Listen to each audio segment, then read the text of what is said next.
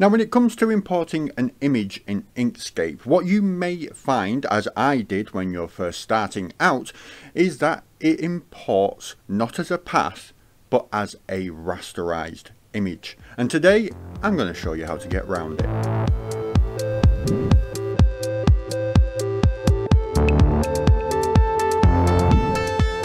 Hello again my friends, Rob here from Button Press Graphics back with another tutorial and today I'm going to be showing you the trace bitmap function. So without further ado, let's get into it.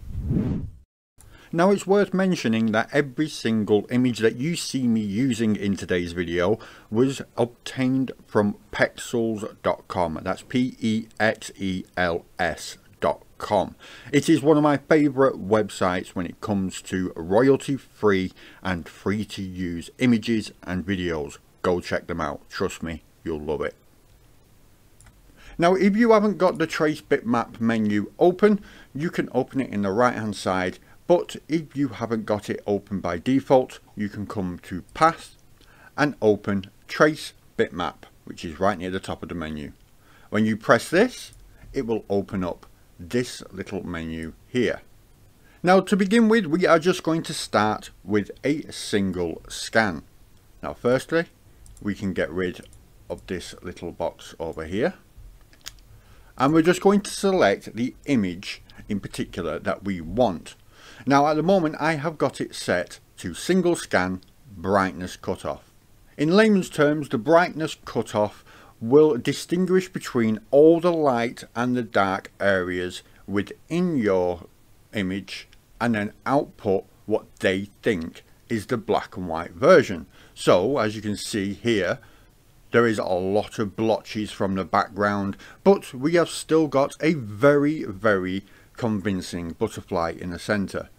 Now by holding and dragging the threshold bar you can change just how much of the image it sees. Like so.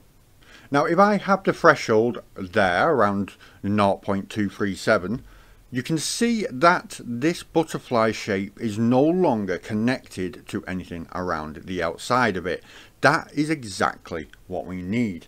This is a live preview of what changes are going to happen when you click apply. So let's click apply.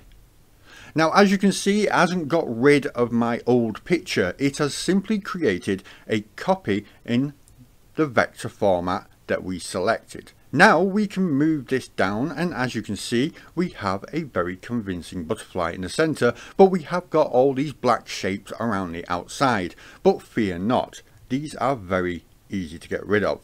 Now all we have to do is use the path commands like I have done in a previous tutorial we are going to get the Bezier tool and we are simply just going to make a shape around the butterfly.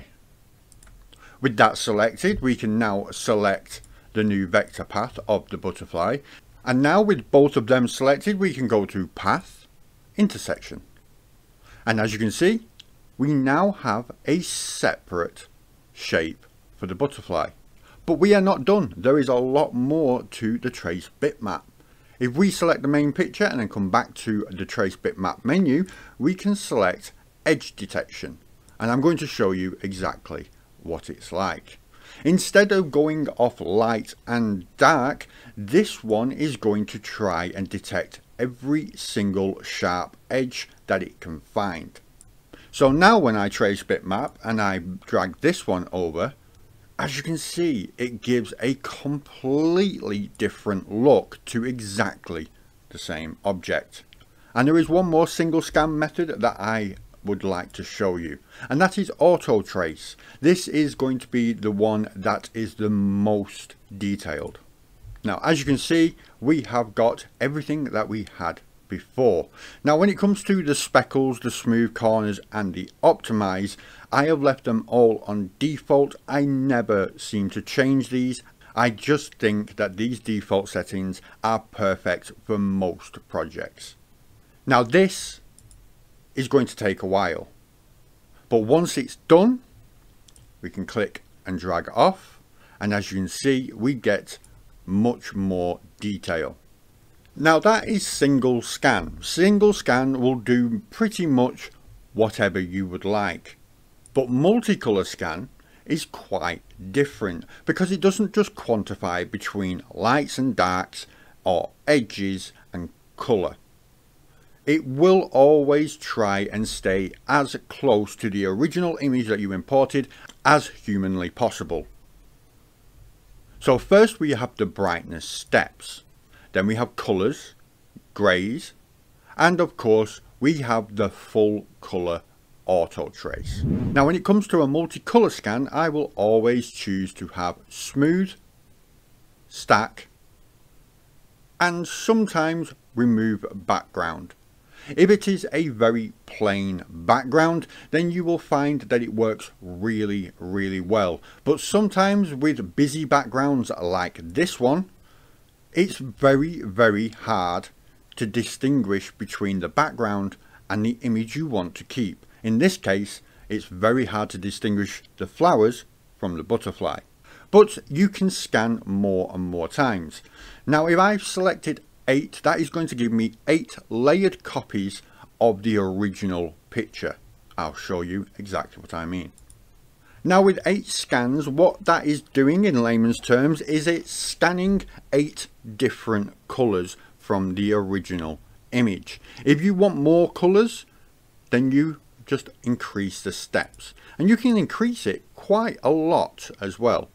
So 256 colours, 256 scans. That will mean that it's scanning every single colour in the image, even when it can't find that colour, like for example, nighttime blue. There's no nighttime blue in here, but there is a very light shade of blue within the butterfly, meaning it will pick up the light shade of blue, but nothing else. Now the best way to show you what I mean about multiple scans is by having the number of scans low I will be able to double click on the new image and as you can see look at all those nodes.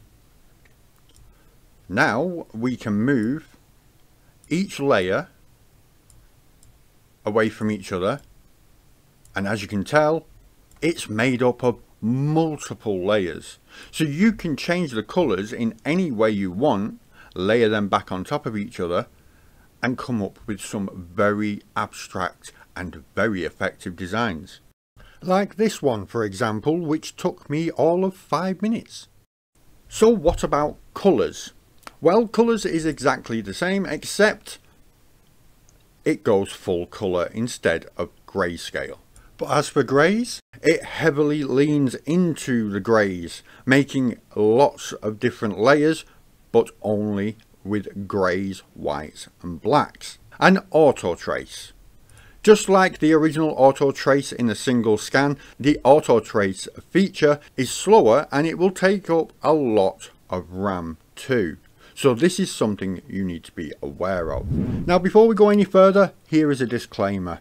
If you have got very underwhelming hardware within your PC, Mac or laptop, then you might run into a lot of issues whilst using Trace Bitmap.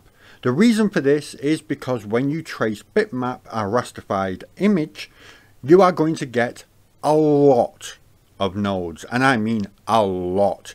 And the more nodes you have got, the harder it is for your hardware to keep track of all of them. So please keep that in mind and if need be reduce the size of the picture you are using because as you can see on screen right now even though I am using a simple looking image the amount of nodes that this created was a lot and kept making my PC slow right down. And there you go, that is your trace bitmap feature. Now there's a couple of things that you need to be aware of while using the trace bitmap. If you use things that are highly detailed, or even if they don't look highly detailed, I'm talking about the images that are high in shading or high in contrast. These are going to be a lot more demanding for your PC when using the trace bitmap feature.